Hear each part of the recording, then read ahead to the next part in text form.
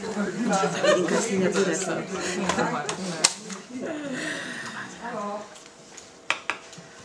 Skratka, tako je zdaj. Uh, kolegici boste pobrali, ste napisali vsak svojo šifro, ste si zapomnili. Kolegici boste pobrali vsaka po eni strani vaše rešitve in jih razdelili drugi strani.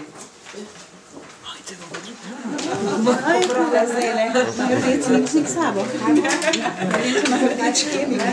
Da bomo zamenjali. To je moj sistem, sorry, veš. Razdelili drugi strani. Ni bilo težko, a ne? Ja. ja. Uh, in potem boste dobili vsak en drug test, ne svojega, ne? Ki ga boste točkovali. To se pravi, pripisali boste točko za pravilno rešitev. Mi jih bomo te rešitve kazali, ne? Vi boste pa točkovali, ne? Vsak en drug test, ne? No, to bo, in sproti bomo te rešitve tudi komentirali. Tako bomo naredili. Pokazali bomo eno točko rešitev, da boste vi točkovali, na kar bo kolegica Andreja pokazala, kje na spletu te rešitve najdete, da boste lahko drugič tudi sami našli ne, eh, in se posvetovali eh, s tem orodjem, ki se mu reče Fran. Fran po Franu Moš, ki ga je razvil ta inštitut za slovenski jezik. Ona bo malo več tudi povedala. Torej, jaz predlagam, da najprej pri vsaki točki odtočkujemo rešitve, a ne? Andreja, in potem ti komentiraš. Ja. In potem gremo na drugo točko, spet isto. Uh, jaz bi želela, da vprašanja prihranite za kasneje, za tretji del, oziroma ta, ki se vam sprot porajajo. Ne? Ker bo potem debata. Ne? Zato, da ne bomo se zdaj predolgo mudili. a ne? Lepo upam, da ni eden je od gospoda in je pa ostal, upam, da ne bo. Če pa vaš pa povete, pa bomo zamenjali. V redu.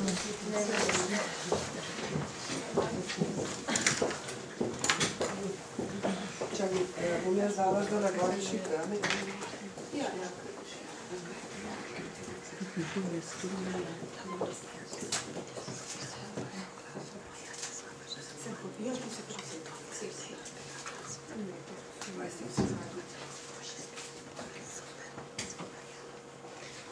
Не, не мишки. Не, имаме две жени. Момиче, момиче, защо?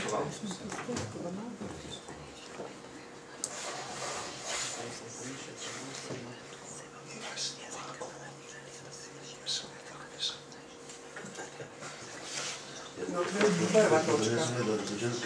A że macie? Največja. A se ne malo povečje? Ja, stop. Pa vsako nalogo. Je?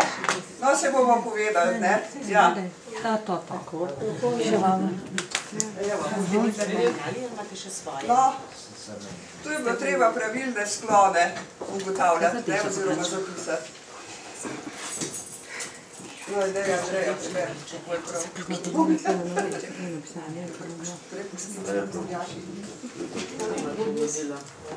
No, mogoče uvodoma, pogledajte, najprej lepo pozdravljeni še v mojem imenu, pa eh, kolegici Boži se zahvaljujem, da je začela s to akcijo po Sloveniji, tako da imate posebno čast po svoje, ker ste tukaj prvi, tako rekoč preizkusna publika pri eh, teh eh, tako imenovanih, bom rekla, uporabnih, praktičnih eh, testih.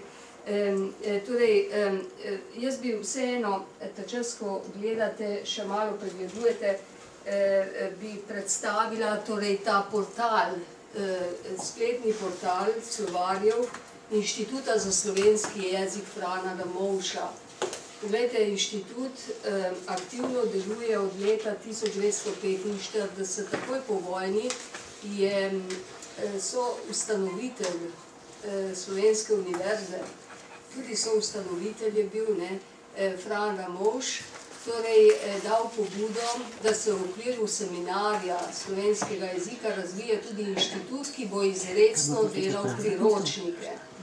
No in kot zanimivost, so za prvi slovar slovenskega knjižnega jezika ročno izpisali 6 milijonov, to smo jih sami tudi, nismo jih na roke šteli, ampak so prešteti, ker smo jih skenirali, 6 milijonov izpisov gradiva in iz tega gradiva izpisnega je bil potem rezultat narejen, torej zadnja knjiga je šla 1991. leta, slovar slovenskega knjižnega jezika.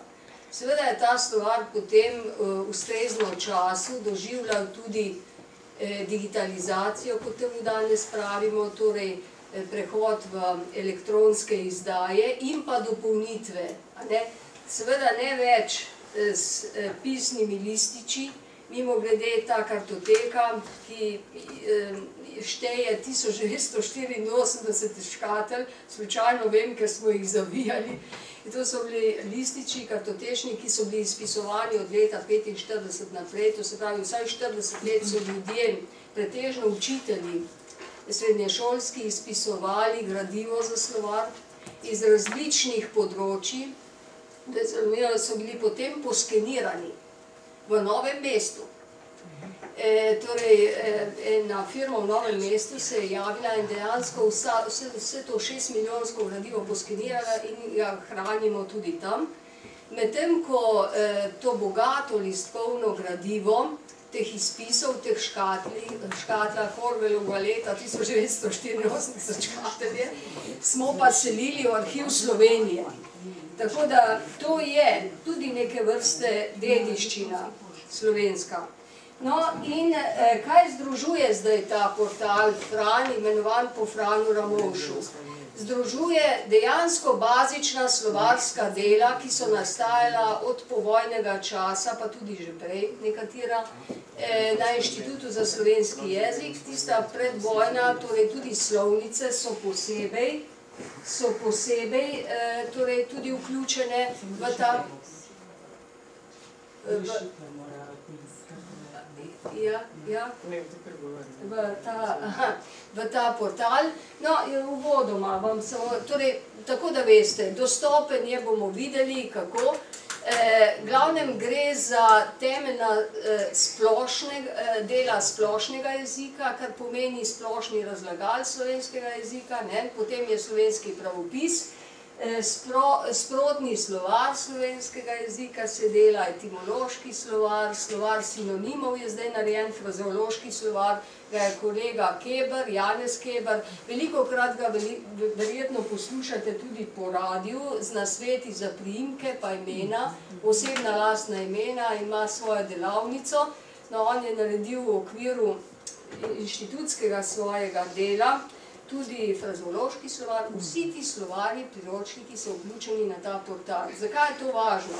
Ker ko iščemo, iščemo eh, praktično vse možne povezave eh, s temi slovari, ne? torej ustvarjamo neko sintezo tega ogromnega jezikovnega korpusa. No in prej, če se navežem na kolegico Božo, lahko rečem samo to. Kdor nima odnosa do lastnega jezika, veste, tudi do tujega nima. Žal, moramo to priznati. Zakaj je to važno? Važno je to, da če enostavno slabo poznaš svoj prvi jezik, oprostite, po lastnih izkušnjah, pa po izkušnjah tudi vaših, tudi v večjezičnosti slabo funkcionira oziroma je zelo polovičarska.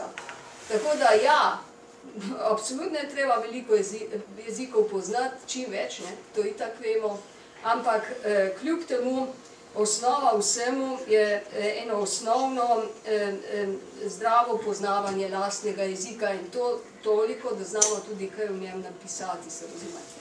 No, eh, zdaj tukaj so tile, kar sem vam govorila, A gremo prej na rešitev? Ja. Ja, dobre. Torej, eh, tukaj, eh, aha. Lahko, oprostite, samo eno vprašanje. Zgleda sem spregledala, preslišala. Moramo mi popravljati ali sem točke pišemo? Lahko tudi popravljate, če vam je lažje. Ne? Ja. Hvala. To je, to je ni potem več to. Lezel sem kot besedo, vidim, da sem Ja. Ena, dva, tri, štiri, pet. besed. To je za pravilno. Ja, Točke so za pravilnost, ne? Vsaka beseda je ena točka, ja. 6, 7, 8, Zakaj? 9, Zato, ker je vsaka beseda zanka. Ne? Ja, zdaj takole, ne, ne bomo se ne podcenjevali, ne precenjevali. Jaz svetujem vam, če dovolite, ker je tako bilo tudi rečeno, da je to miza pogovora, a je pri doktorici Nives Novak eh, kaj spornega. Ja, prosim. Jaz nisem vedel, da ni ves moško ali žensko ime. Pohvalno. To je, Veste to je angliška beseda, ali kakšno. Prosim, zakaj niste v tem stali slovensko besedo? ker- Jaz se glih zaštega. Namenoma, namenoma, namenoma, kar Zato, ker so eh, ja. ženske s tem imenom v našem okolju, Ines, Nives, Dolores. Je Če- dovolite, zakaj pohvalno po svoje? Zaradi tega, ker dejansko res to ni, ne sodi v naš kulturni prostor ime, ampak je uvoženo, prevzeto. To je pohvalno, da človek... Bi mogli v zraven oklepaj napisati žensko ime. Ja, no, eh, eh, imamo pa zdaj tudi že Ines, pa Dolores, pa kot vemo, je tega vedno več. Eh, dobro je, jaz pravim, ker je to taka globalna miza, dobro je, do takrat bo še dobro, dokler ne bomo zaimeno, zaimen, zaimenjevali eh, eh, imen za osebe, pa za ž- Živa. Nives piše, žensko ime v slovarju piše. Ženski spol. A, stvar je dobro. kaj. Tako imate označeno. Po slovensko bi bilo snežna, ne? Nives. No, in eh, če dovolite, pogledajte, tukaj eh, tista črta, vidite naprej, ne, v slovarju lepo kaže za vse ostale, da pač ime je nesklonljivo oziroma da je, mi rečemo to neke vrste ničta končnica, da ohranimo svojo lastno paradigmo sklonsko, ne. Torej, da rečemo pač tam je nič, a ne. E, e, ja. Dajmo mi prvo nalogo iti kar od besede do besede, A ja. ja. da vidi, ker eh, nekateri ne sledijo, rešitve so različne. Pa poglejte, če imate za novo vodstvo doktorico Nives Novak, na prvi črti napisano imate tako. Poglejte, doktorico Nives Novak mora biti napisano, vsaka beseda je ena točka. Potem pa na drugo črto napišete, je, mora biti napisano Stanka slabeka, stanko slabe, stanka slabeka. Stanjamo. In to je pravilna oblika, ki jo morate imeti napisano na listu, ki ga popravljate. Za prvo poved. E, Mogoče še to tak socialni vidik, pogledajte, doktor, doktorica, ne, ste zasledili, ne, da so vedno pri poklicih, zdaj pač v, zdaj, vsaj v zadnjih 20-25 letih, tudi različice, ne, za ženska poimenovanja poklicev, pač rudark nimamo, ne, vse tudi rudarjev ni več. No, tako da tukaj ni več nevarnosti, ne. Kako je pa ključavnica, ključavnica ali ključavničarka? E, ja, dobro ste ugotovili, to je vezano na družbo, veste, na družbeno, verjetno bi bilo zelo neumno, ne, da bi hoteli umetelno ustvariti nekaj, kar ni, ne. Vsaj jaz tega ne zagovarjam, to je ključavničarka, gledajte, če je, naj bo, ne. Ampak če je pa v resnici ni, ne, kot nimamo rudark, saj jaz ne vem zanje, no, potem eh, enostavno ni potrebe. To se pravi, tukaj same oblike, ne, doktorica, to naj bi se seveda zelo gojilo, če v resnici to obstaja v jeziku. Ne.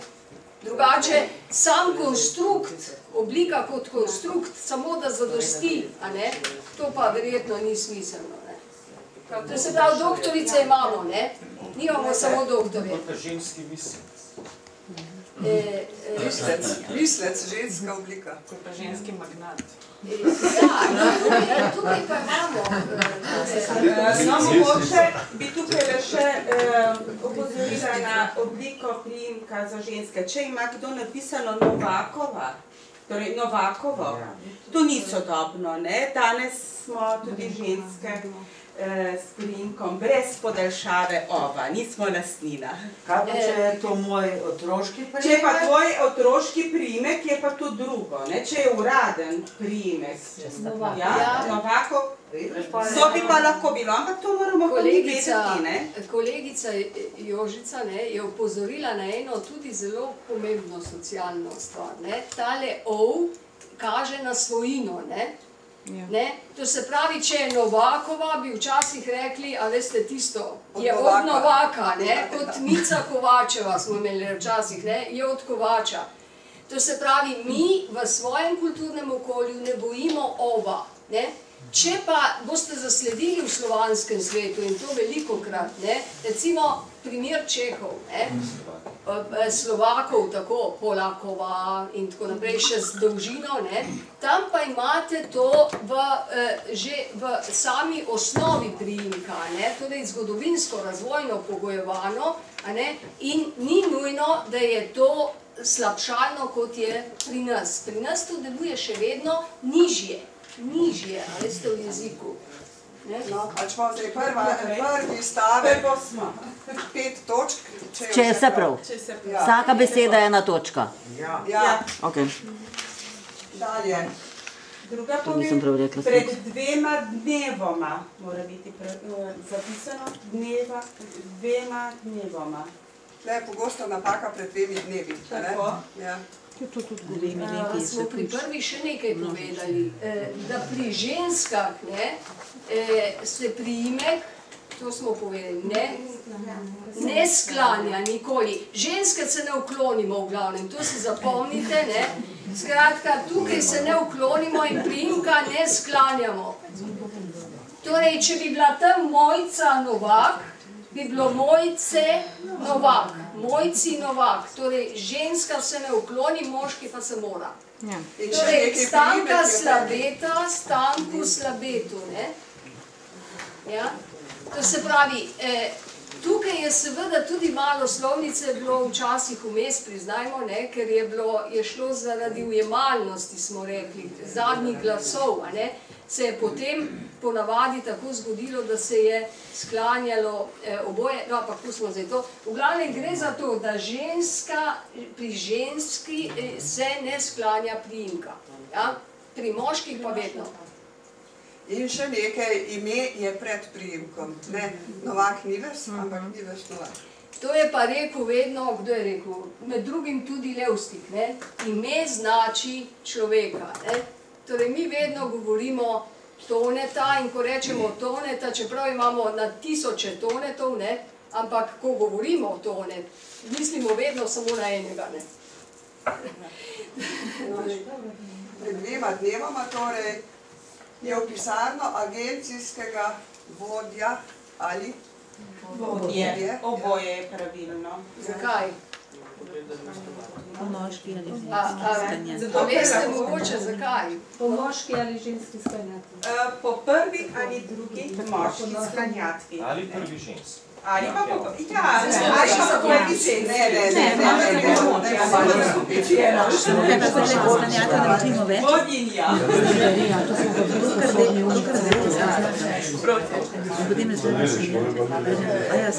ne, ne, Vodinja. No, dalje, tretja. To bi bilo okoli dva dni. ne? Starši imajo veliko veselje z otroki, A, veste, kako si to najbolje zapomnimo? Ne? Tukaj imamo eh, skok. Ne? Eh, to je velika, eh, to je običajna, eh, veliko krat to tudi v medijih slišite, ne? z otroci, ne? Na mesto z otroki. Ne? To je neke vrste slovanska ostalina v našem jeziku, ki ni razložljiva zdaj na sinhroni ravni, na sodobni ravni. Je težko, da to razlagamo, ker tisti i je bil enkrat bolj trd, pa enkrat bolj me- mehak. Ampak recimo, da si zapomnimo najlažje tako. Ne? Če eh, rečemo, da so otroci, neutralna oblika prva otroci, potem moramo vedeti, da potem je tista zadnja a ne, ra- razlikovalna glede na prvo. Ja? To si najlažje zapomnimo. Torej, v imenovalniku zagotovo so otroci, nikoli niso otroki ne, v imenovalniku. pomeni, da bo z orodnikom nekaj drugače. Ne? To je najbolj kratka, torej imenovalnik pa orodnik se ne smeta tukaj prekrivati. No. Enostavno tako. Včasih so bili to tudi volkovi, a veste, pa smo jih podaljšali, ne? volcije, ne? volci, volcije. To je, a veste, razvojno bilo, ne? To so ohranili od slovanov kot zanimivost, no, ker niste vsi enaka publika, tudi tukaj ne, Rusi. Imajo en i mehak, eden pa trd. Ne? Mi, hvala Bogu, nismo tega ohranili. Zakaj? Ker potem bi podvojili, a veste, oblike, to pa vam ne želim. Kako? V pravopisu je črna pika, pravi kolegica. Tam, kjer so v, z otroci, ne, dobi črno piko. Ampak samo v pravopisu, žal. Tam je označeno kot napaka. Ja, ja. No. In, uh, že zdavnaj odšli iz domačih okolij. Aha. Ja. No. Torej dve točki. Skupaj pri tej nalogi se dobi lahko deset točk. Napišite, koliko ste jih dali. Jaz pa mislim, da ne smeš reči domačega okolja.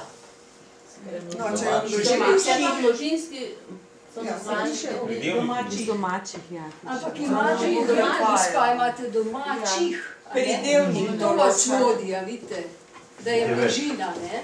Ja. Ja. No, se ravno zaradi tega pa je, ker je sklon, ker je oblika malo komplicirana, ne, okolji, ne, podlagi in kaj? Tam bom se fajn, Veste kaj, tisti, bolj, bolj nesledljivi, prečrtate domači, pa imate več možnosti. Kje smo maja? Maja, maja. Ali pa maju, ali pa maju bi bilo tudi. V maju bi No, to pa zdaj, maja. A, a ne, meseca maja hodimo na izlete. Ma, januar, februar, eh, marec, vse to so meseci ne? in ni potrebno dodajati nadpomenke meseca, zaradi tega, ker že ime po meseca pove, da je to mesec. Gre za besedno preobilje, pravimo pleonazem. v maju. V maju, v redu, v redu, lahko, ne pa v mesecu maju, se pravi, Gre za do maja, maja ali v maju. v maju, ne? To je že malo konstrukt, ne? vmes. Mimo grede, ko smo pri mesecih, Kuba, ja. a vas smem samo vmes zmotiti, a gojite še domača poimenovanja mesecev tukaj? Slabo. Malo redko. To ni dobro. Ja, jaz pa še. Jaz občasno. Kar se veselim še. Znam jih pa ne. Ampak veste, kaj je fino? Zato, ker je tudi od področja do področja različno. Žilo si vedno bolj napisano. A ne mislim, Mali kraj. Ja. Je Če gremo naprej, ne, na drugi primer. Glejte, tako jaz kot moj brat sva vraščala na kmetih, spet gre za besedno preobilje. To je tako, ne, kot če rečemo, napiši eh, eh, spis dolg en, eh, eno stran pa pol, ne, in potem bojo kopičili besede samo zato, da izpolnijo normo, ne. Eh, z bratom sva odraščala na kmetih, je pravilno, ne. Z bratom. Oba, Oba z bratom, zakaj? Z bratom je dovolj. Se že iz te oblike vidimo, da gre za dva. Stilske, ja, to je sorodovna eh, napaka. Ne. Ta vprašanja so zapletenega značaja. Zakaj, če lahko enostavno rečemo, da vprašanja so zapletena in povemo isto, ne? Torej, eh, spet gre za besedno preobilje. Ali pa velika stopnja udeležbe, ali kaj takega. Ja. Ta stopnja se je Veste, kot kaj je, eh, zelo veste, kako je, veliko krat zasledite, se vršijo dela. Ja, nekje, res. ne. Torej, to je zelo veliko krat, se vršijo dela. pa Izrekam čestitko, Eh, ne, Ja, to čestitam, so, to so take, bom rekla, preobilne, a veste, zveze, ki dejansko so moteče. Ne? Ne? Vršijo dela. Ja. Popravila se tudi vršijo. Jaz sem Nabiraš besede. Pravico bomo dosegli potom eh, sodišča. Na sodišču. Potom je pisarniška doseža, slogovno zasnovana, doseža sodišče. Ja.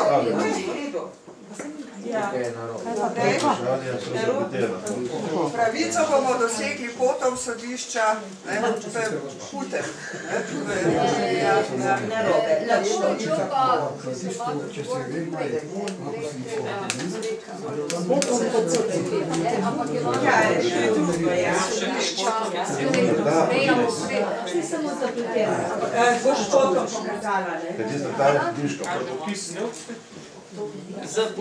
ne? Ja, ni črne pike, ne? Ne, je pa z modro zraven, če že Ja. pomeni.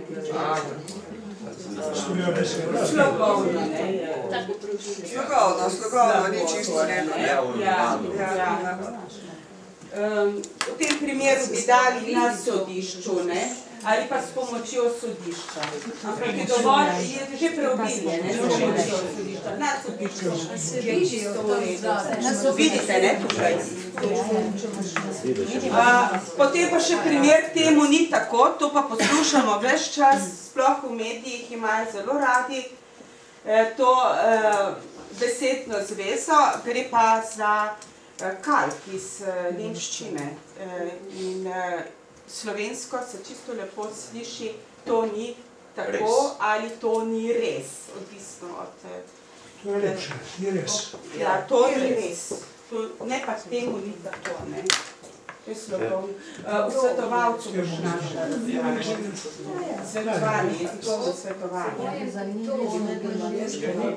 Svetovala, da potem vse pa to ni res, je pa vredno. Je pa v redu, seveda. To ni res ali pa to ni tako. Mora biti napisano za točko. bi bilo ni res.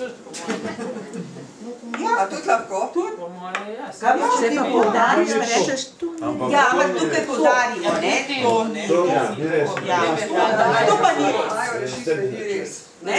Tako, poudarjeno je. Ne. Prav, tem ne, ni res. Ja, lahko pa napišete točko, ja, ni, seveda. Eh, Skratka, naštejemo, naštejemo pet točk, če je vse v redu. Ne? Strtena dol. To je odvisno, ja, odvisno, kaj hočemo povedati.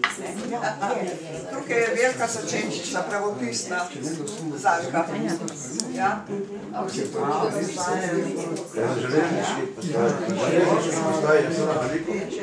Kaj je zdaj prav? Ne. Aha, zdaj pa železniški postaji, postaja malo, ta, to ste morali eh, Ja, pa narediti. Železniška, to so veliko.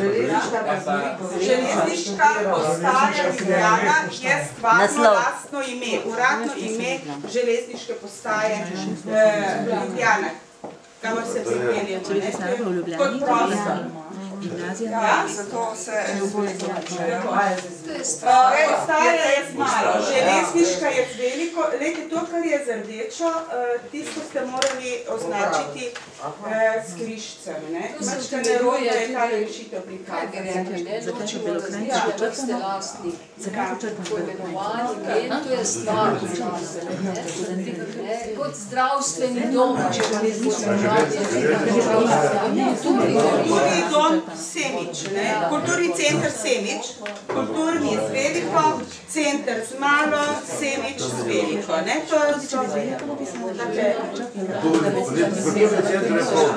Železniški postaje je poln. Potem lahko reči, da se poimenuje nekomu železniška postaja. Železniška postaja je milijon. Ne, pa je konkretno Ljubljana. Gre za... Ja, veliko. Lejte, če, bi ime, če imate vi um, uradno poimenovanje vaše um, avtobusne postaje, avtobusna postaja Semič, s- ki ima nek sedež, kjer prodajajo sto, uh, vozovnice in podobno, ne? Potem bi bilo to stvarno lastno ime. Ne? Če imate pa, eh, grem na avtobusno postajo v Semiču, je pa to čisto običajna besedna zveza. Ne? Samo uradno ime se Ja, piše. samo uradno ime se piše. Ne, eh, lejte, bomo šli kar po vrsti. Mirni peči, peč mora biti napisano z veliko začetnico. Zato, ker to je pa naselbinsko ime in ko imamo naselbinska imena iz večjih besed, je ne prvo ime zapisano z veliko začetnico, razen, kadar imamo selo, vas, d in mesto. Novo mesto recimo je dosti krat zapisano tako, da je tudi mesto z veliko, kar je absolutno narobe. Ne? To vse posod lahko eh, vidimo. Novo Ja. mesto boje z veliko. Napaka. Napaka, vse piše velike črke. Ja, eh, velike tiskane črke, ne? Ja. Torej, mirna peč, oboje z veliko. Ja? Eh, Včasih smo zagatli, ker ne poznamo zemljepisa ne, in ne vemo, ali gre za težko vodo potok ali težko vod- vodo eh, naselje. Ne. Če imamo, stanujem v težki vodi ob težki vodi, bomo v prvem primeru napisali oboje z veliko, v drugem pa eh, vodi z malo, zato ker gre za vodo. Ni naselbina, ni naselbina. Mirno vodo. Mirno vodo imate tudi. Ne, ja? imate tudi, gospa se vročujem, eno zanimivo, pa jaz ne poznam nič tukaj krajev. Eh, Pri treh krajih, ne? Kako se to napiše? Ja, vse veliko. To je šolski primer. Ja. Ja, vse veliko. Kaj je vase ali? Da kraj, tri točke. kaj Pri pri treh varah, koliko je pa to? Pri imamo isto. Pri treh se, če je tri kraje, tri, Kralji. Tri kralji je naselje na Poholi. Ja, ja, ja. Pri treh Tri fare pa ni naselje, tri fare je, eh, tri fare je romarska pot, ni naselje. Kaj pa to? Ampak se je to je lastno ime, tri fare. Ni naselje. Nič ne moti. Ja, pa že to železnica postaja Imaš na naselje. to piše, da je pa gor vas. Železniška postaja tudi naselje.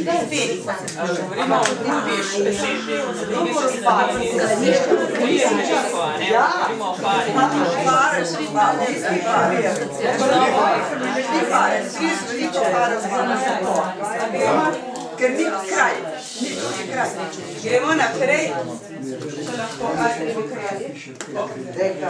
bolj mi je všeč v čateški. Čateški je tukaj zapisano napačno, biti mora z veliko začetnico, ker uh, gre za uh, ime toplic.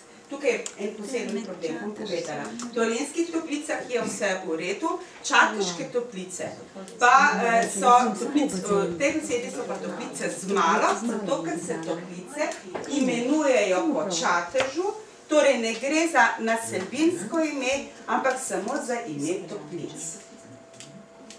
Torej, ni kraj. Ni kraj, ni naselje. Ne? Toplice pišemo z veliko začetnico, samo kadar so del imena za naselje. Šmareške toplice, dolenske toplice, recimo, v našem, v naši bližnji Čateški, ja, čateški toplica. ne, ne, pa je čatuški je veliko, vse to piše zraven. Ja, ker je kraj. Ker ima ime po uh, naselju, ne? Ja. Tem- Temečat, kako? Ja, zdaj je termečat, ni večat. A, ja, še vedno, eh, še vedno tako poimenujemo. Rečemo, gremo v čateške toplice in če bomo to zapisali v sporočilu, bomo napisali. To več tega pisma. Ja. Ja, Gremo na Toplice morajo stati z veliko, niste smeli ničesar. A? Če smo v boljšem bazenu v eni kot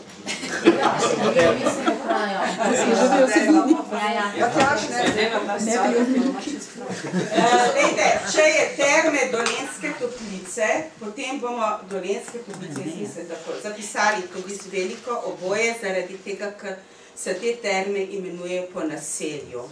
Ne?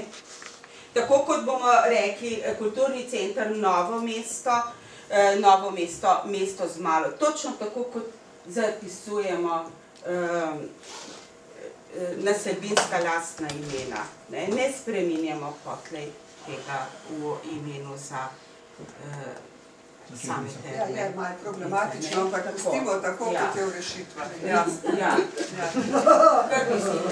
Ja, ne, ja, pa vidite, na kakšne probleme naletijo, jaz že poznam. Pa ste rekli, da bomo imeli lahko Ne, Veste kaj, načelno pa ne drži to, ne, e, to je zdaj problem. Kaj ima status, to, kar ste vi omenili, naselbine, ne, pa ne naselbine. Ne. Zdaj, načelno ne bi držalo, da kar ima status naselbinskega ne, imena, gravitira k velikim začetnicam, ja, teži k velikim začetnicam. Dajmo se vsaj to zapomniti. ne.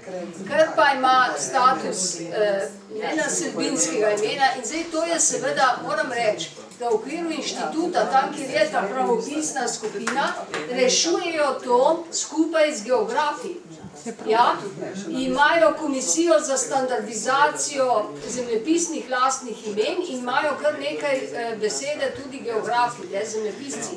Ker oni potem lahko to natančneje opredelijo, tudi status tistega lokacije, mesta in tako naprej. Tako da to na vse zadnje pogledamo včasih v priročnik. ne. Gremo naprej. Birokranci seveda veliko, ne, to ste ja. Slovenščina pa z malo. Zakaj je počrtano velokrajci tam? Eh, Narobe je napisano. Ja, Ja, ja, ja. Urejevanje besedil je poznal belokranci že A je pa res? Ne. Ja, Eh, pameten eh, urejevalnik besedila. ne. Slovenščina pa seveda z malo, tega pa ne podčrta. Ja, čeprav bi moral. Bi moral, ne. ja. Ja. Ja, ja, to, ti programi pravopisni niso čisto takšni. Slovenščina, angleščina, nemščina, to je vse z malo. Slovenski jezik z malo. Gremo naprej. Pet točk je bilo tukaj lahko. Ja. Nič točk, nič točk. Kar pre- primerjajte rešitve, če bo kaj kakega, ko se postavimo. ne. Ja. A jih preberemo? Tam, eh, A se vidi?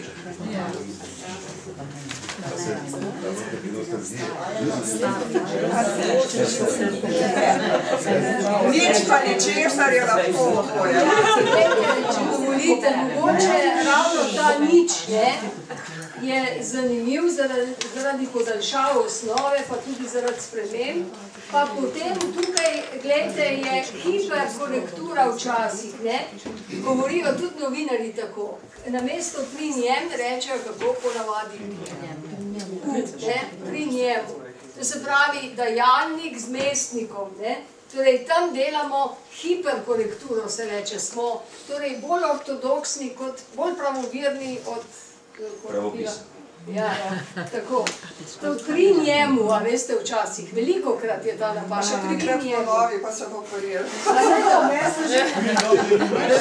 Ja, Ob lepemu vremenu. ja, ja. Pet točk, ne? Torej nič ali ničesar. Ja. Šlo je pa za sklanjanje nič, ne nič, ničesar, ničesar, in tako naprej. Ja. Dobro, smo, gremo dalje.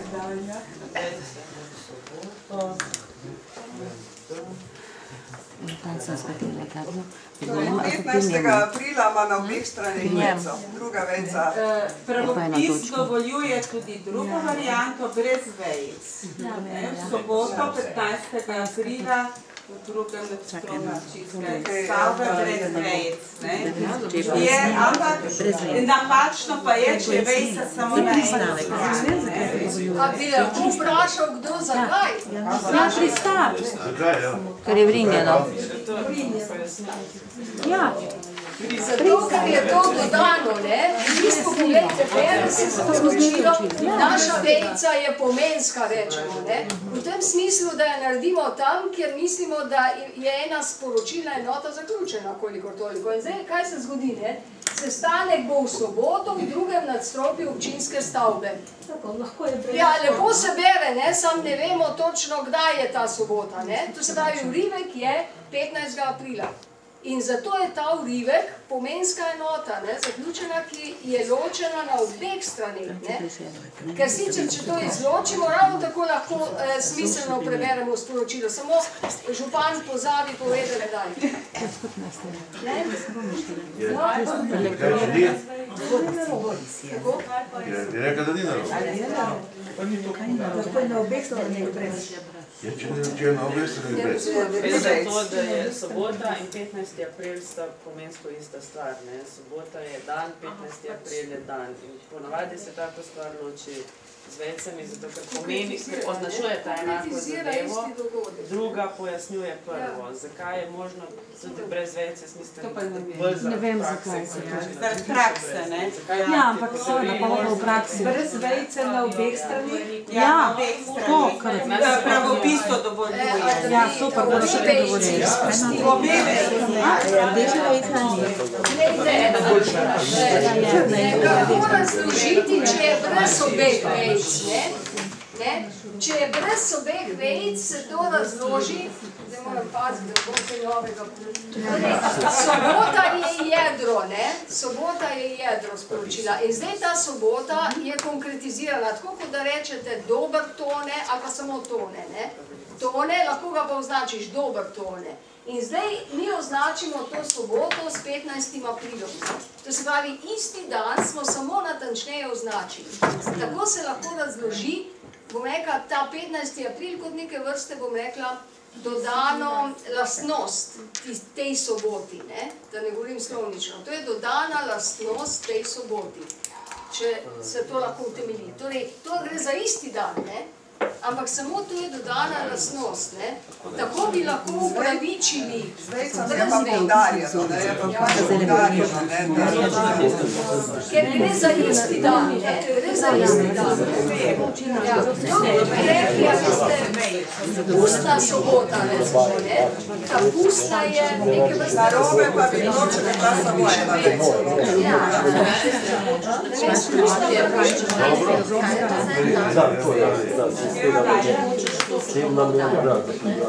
A se vidi. Na tisti črni torek, brez vejce, se je zgodilo veliko prometnih To je, to je tudi pogosta napaka, ne, da se eh, Ja, ker po posluhu delamo, naredimo tam predah. pauzo, naredimo še vejco. Ne? Tako. Ja.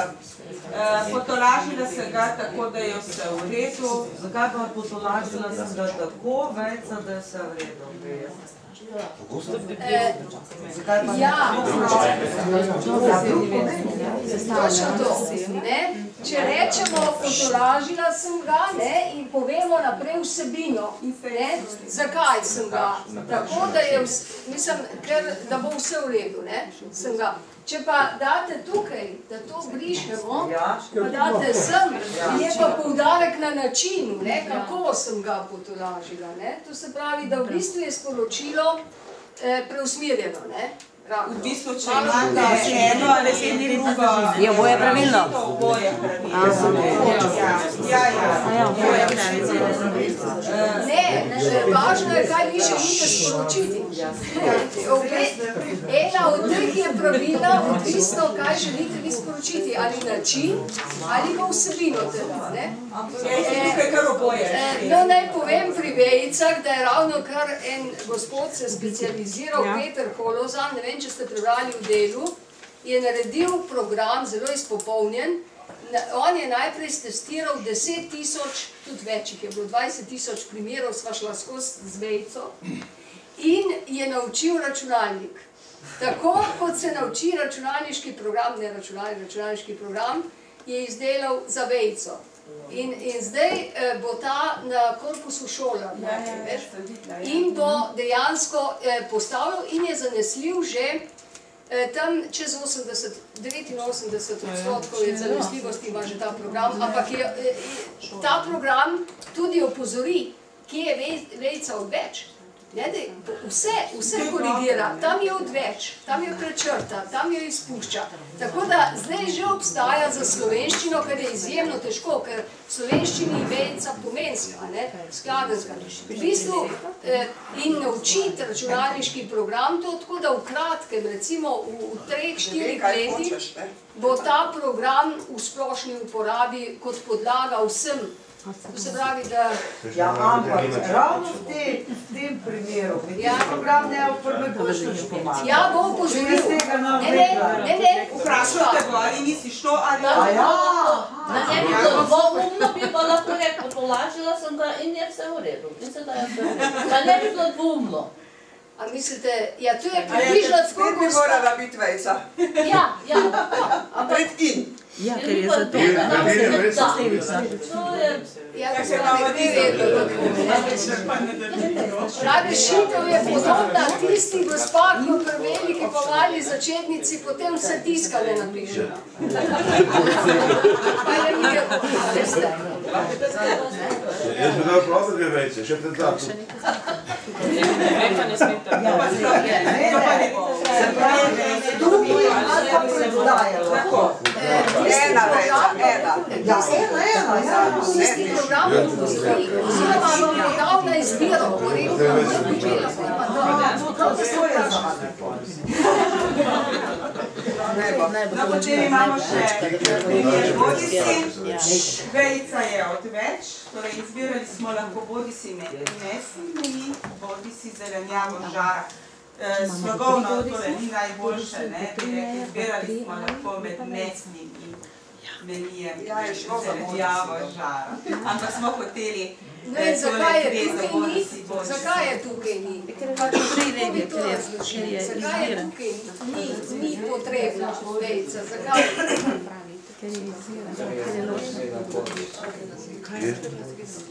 Eh, lahko bi rekli, da je ali ali, ne, to se pravi, da je to, ampak zakaj gre v bistvu? Za izbirne možnosti, ne? to se pravi, ne ločujemo zdaj, ne dodajamo ničesar novega, ne urivamo ničesar novega, ampak izbiramo. Ali ali, bodi si, bodi si. To se pravi, da je pomenska vejica, v vsakem primeru. To se pravi, jaz samo izbiram, zakaj bi potem izločala ne? z vejico. Zato pri takem ali ali, ko izbiram pomensko, pač ne bi bila smiselna vejica. Vejica vedno loči dve dodani sporočili. Dodani sporočili, ne izbirni sporočili. Dodani sporočili. Skratka, Skratka, še zadnji primer. Skratka, vejca še zadnji primer. Potovanje je bilo čudovito. E, torej, skratka, mora biti Zakaj, je pa, zakaj pa tukaj vejica? Ja. Ni dovolj, če to rečemo. Nekaj dodamo. Kako pa lahko razvežemo besedico, to je členek, ne? Kako lahko razvežete besedico skratka? Ja. če.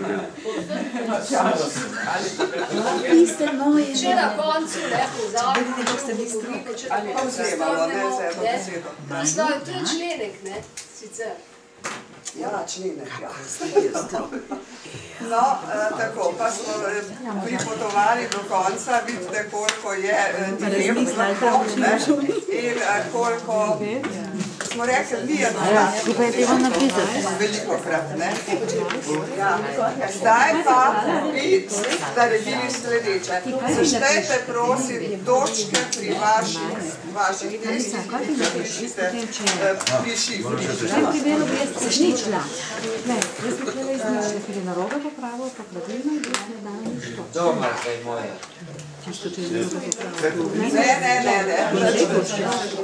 Ne, štej tam. Ja, Daj mi tukaj. Potem na Ja, zdaj pa iščemo, zdaj pa pride na pet minut, ne? Iščemo tri rešitelje, ki bo, eh, slo- slovenistke so izuzete, prosim, ki bodo dobili, ali bi tudi, ne, ni lojalna, ni lojalna konkurenca, bodo dobili priznanje, ki se mu reče všeček za slovenščino in bodo uh, dali kontakt, zato da bomo jih povabili na eventualno nacionalno tekmovanje. Ja. No, torej, kdo ima 50 točk? Ni možno.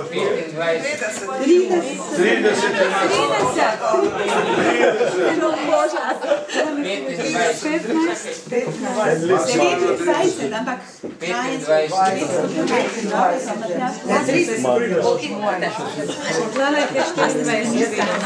Ne, damo nazaj to že? 30, ja, pa se upravičujem, imam ponavadna štima, da 200. Slavisti izuzeti, prosim. Ja. Imamo Torej, Slavisti, kdo- slovenisti.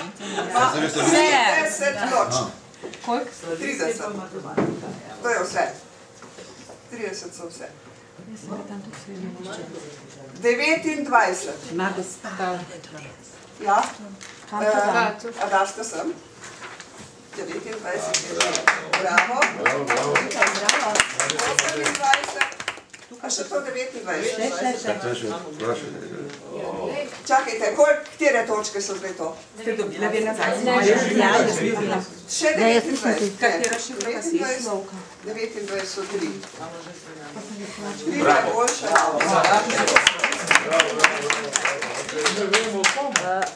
Edino, Uh, kaj moramo dati nazaj? Šifre so.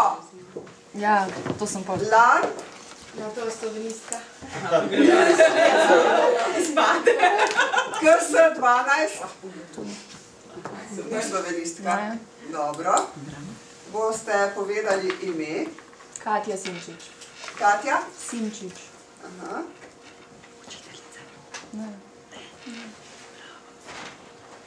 In tretja je Slovka. Pa jaz. Sloveni, slovistka. Ja. Ne. Žal. Izpade. Torej, ima še kdo 29 točk? 28. Ja. No, potem pa prosim. Sem, nisem jaz reševal. Ajde, a to je vaše, no pa se. Ne, ne, ne, pa da me ne bi kam. Ja. Uh, Tri rožice. O, bravo, Franci.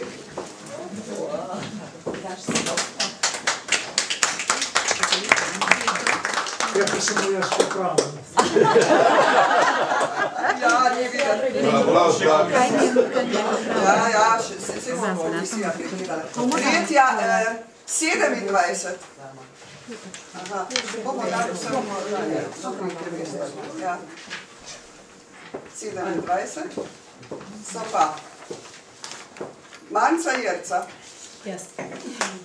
Eh, niste slovenistka. Ne, nisem. No, a ste Manca Jerca? Ne, Ana sem, Ana Gorše. Ana Gorše. Ja, seveda. Čestitamo. Upanje. Ja, tudi niste slovenistka? Ne. Pišete se pa? Magda Kastelič, hotela.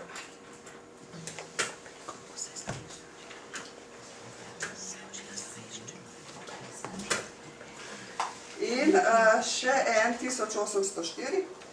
Pa Marjeta Lipar. Marjeta? Lipa. Ampak ja, jaz sem učila slovenščino, ja, odpade. Upokojena slavistka. Žal, ne? Ja. Čestitamo vseeno, tudi slovenistkam, vse so dobre, ne? Dobro, so dobro. No, uh, vi, ki ste uh, pisali toliko, bi jaz prosila, da vzamete zdaj te teste in napišete svoje kontakte na nje in jih mi potem shranimo ne, za uh, vsak primer, za naprej. Uh, drugi, uh, ta priznanja moramo zdaj še opremiti z vašimi imeni in podpisi in potem jih boste prejeli.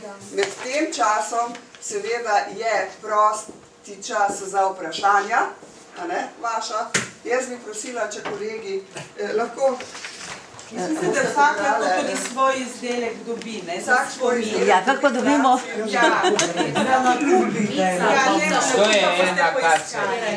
Nakupite. Lahko pa se kaj že. A, Ana Gorše. Ja, ja, tukaj. Ne, ne, ne, to si ga pošljete, pa si vidiš, Drugač pa lahko vzame. Dajte samo naprej, pa bojo pobirali.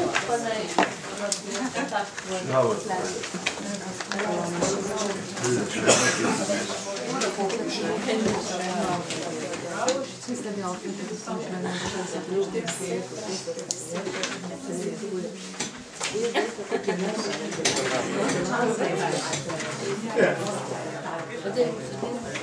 Čakaj, da jih mešam. Naj grejo vse v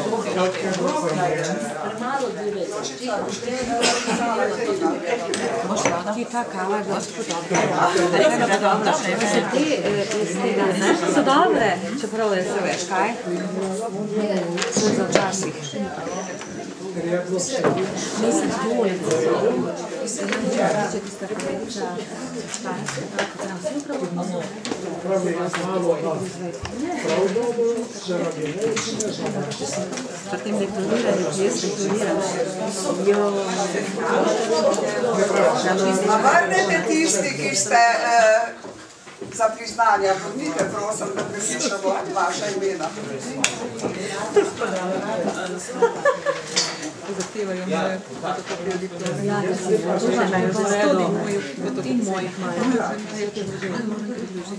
Ja, nekaj pač, ne, kamor, kjer ste razumeli.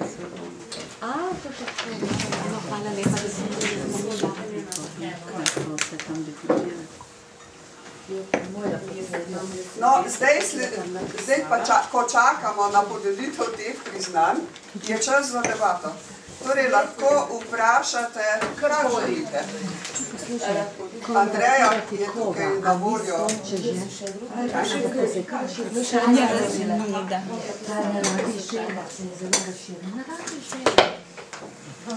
pa piše, Bože, s pisanimi ali tiskanimi.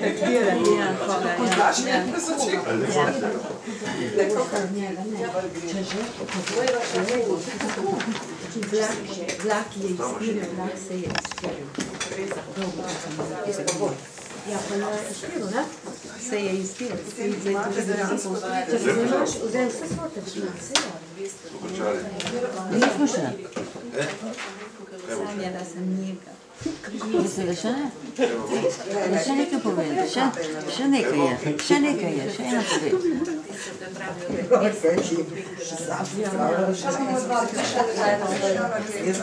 je še rečeno, ne?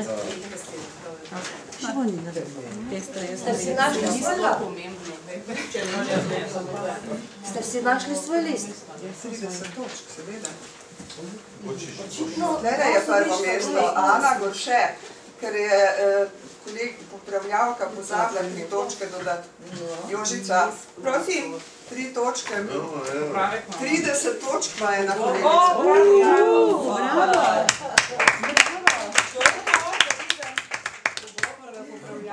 Ja, ja. Pritožbe, ja. Ravnatelj ima. Ja. Uni tam bi pa že napisali slabe popravljavke, ne? Kaj ure? Ura, brez Eh, A si Ja, eh, radio večer? Ne, nisem. Nimate več nobenih vprašanj? Kje Poj pa ti Andreja pokaž, kako se na hrana pride. Ja, to pa res. Glejte, eh, jaz ne vem, koliko vi uporabljate še to. Verjetno nekateri zelo ne? Čeprav sem, čeprav so kaj se Bože, Krivo, da ne folk vam Glede na to, da tretji še prvo to dostane.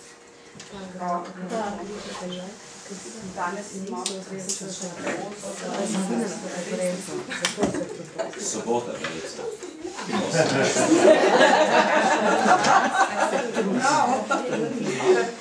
Kaj pognalo sebe?